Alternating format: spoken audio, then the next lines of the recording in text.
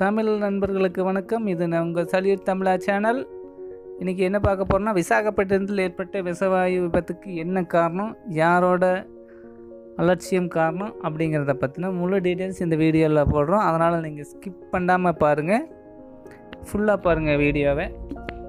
ஓகேங்களா? இது இப்போது நம்ம தமிழா சேனலை சப்ஸ்கிரைப் பண்ணாதவங்க இருந்தால் சப்ஸ்கிரைப் பண்ணிடுங்க. பெல் பட்டனை கிளிக் பண்ணிக்கங்க லைக் பண்ணுங்கள் அண்ட் ஷேர் பண்ணுங்கள் வாங்க வீடியோக்குள்ளே போகலாம் அதாவது ஏழு நாலு ரெண்டாயிரத்தி இருபது இன்றைக்கி காலை அதிகாலை மூணு முப்பது மணிக்கு விசாகப்பட்டினத்தில் ஒரு விஷவாயு விபத்து வந்து ஏற்பட்டிருக்கு. ஒரு ஃபேக்ட்ரியிலேருந்து அந்த ஃபேக்ட்ரியோட பேர் எல்ஜி பாலிமர் தொழிற்சாலை. சரிங்களா? அது ஆந்திர மாநிலத்தில் இருக்குது இது வரைக்கும் சுமார் எட்டுக்கும் மேற்பட்டோர் வந்து உயிரிழந்துட்டாங்க. சுமார் ஐயாயிரம்க்கும் அதிகமானோர் சுயநினைவு இழந்து மயக்கத்தில் உள்ளார்கள். அதாவது அது மூணு கிலோமீட்டர் தூரத்துக்கு அந்த ஃபேக்ட்ரியிலேருந்து ஒரு மூணு கிலோமீட்டர் தூரத்துக்கு இந்த கேஸ் பரவிக்குன்னு சொல்கிறாங்க என்ன கேஸ் அப்படி லீக் ஆகிருக்குன்னு பார்த்தா ஸ்டெரின் அப்படிங்கிற கேஸ் இந்த ஸ்டெரின் கேஸ் பற்றி சொல்லணுன்னா இது வந்து பிளாஸ்டிக் தயாரிக்கிறதுக்கு யூஸ் பண்ணல ஃபைபருக்கெல்லாம் நிறைய யூஸ் பண்ணுறாங்க சரிங்களா? அடுத்தது என்ன இந்த விபத்து நிகழ்ந்ததுக்கு என்ன காரணம் அப்படின்னு நம்ம பார்க்க போனால் அதை பற்றின விசாகப்பட்டினத்தின் மேற்கு துணை கமிஷனர் விளக்கம் அளிச்சிருக்காரு. அது என்னன்னு தான் பார்ப்போமே. தொழிற்சாலையில் இரண்டு பெரிய டேங்குகள் இருந்திருக்கு. இந்த டேங்குகளில் தான் விபத்து நடந்திருக்கு.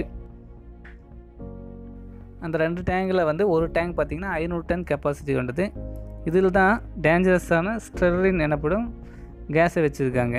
இது குளிர்ந்த நிலையில் இத்தனை நாட்களாக வைத்திருந்துருக்காங்க. லாக்டவுன் பார்த்திங்கன்னா மார்ச் டுவெண்ட்டி ஃபோர்லேருந்து ஆரம்பித்தாங்கல்ல அதனால் மார்ச் டுவெண்ட்டி ஃபோருக்கு பிறகு வந்து இதை திறக்கவோ பராமரிக்கவோ இல்லாமல் பராமரிக்கவோ இல்லை. இப்போ இன்றைக்கி வந்து லாக்டவுன் வந்து தளர்த்து இருக்கிறனால அதாவது ஏழா ஏழு அஞ்சு ரெண்டாயிரத்தி இருபது இன்றைக்கி காலையில் வந்து அதை ஆப்ரேட் பண்ணி இருக்காங்க அப்புறம் அந்த டேங்காலாம் ஆப்ரேட் பண்ணி பார்த்துருக்காங்க. ஆனால் மார்ச் இருபத்தி நாலு பிறகு இந்த கேஸை வந்து பராமரிக்காமே வச்சுருந்துருக்குறாங்க.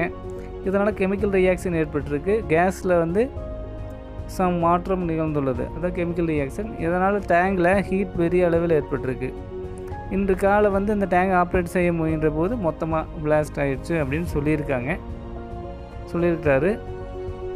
இந்த பிளாஸ்ட் ஆனதுனால கேஸ் வந்து மூணு கிலோமீட்டருக்கு மேலே பறந்துக்கிட்டு இதில் பல கால்நடைகள் வந்து உயிரிழந்திருக்குது பரிதாபமாக. மிகவும் வருந்த வேண்டிய ஒரு விஷயம். இந்த டேங்க் வந்து வெடிக்கிறதுக்கு முன்னாடி லேசான கசிவு ஏற்பட்டிருக்கு. ப்ரெஷர் காரணமாக ப்ரெஷர் காரணமாக வந்து ஸ்டெர்லின் வந்து அழுத்தம் காரணமாக வெளியில் வர பார்த்துருக்கு. ஆனால் அதை வந்து கட்டுப்படுத்த முயன்றுள்ளார்கள். இதனால் அழுத்தம் அதிகமாக இருக்கும் அதனால் வெடிப்பு ஏற்பட்டிருக்கும் அப்படின்னு சொல்லியிருக்காங்க. லாக்டவுன் காரணமாக பராமரிப்பு செய்யப்படாததே இதற்கு காரணம்னு சொல்கிறாங்க இந்த விபத்தின் போது இந்த தொழிற்சாலைக்குள்ளே சில பணியாளர்கள் வேலை செஞ்சுட்டு இருந்திருக்காங்க. ஆனால் அவர்கள் நிலை என்ன ஆனது என்பது குறித்து இன்னும் ஒன்றுமே தெரியல.